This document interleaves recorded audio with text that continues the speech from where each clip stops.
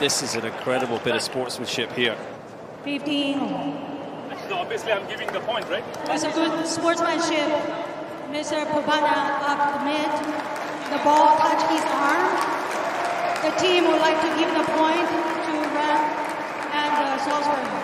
Bopanna just admitting that this forehand from Matt Ebden as it whipped cross court just Grazed his just grazed his arm, his right arm. Oh, wow.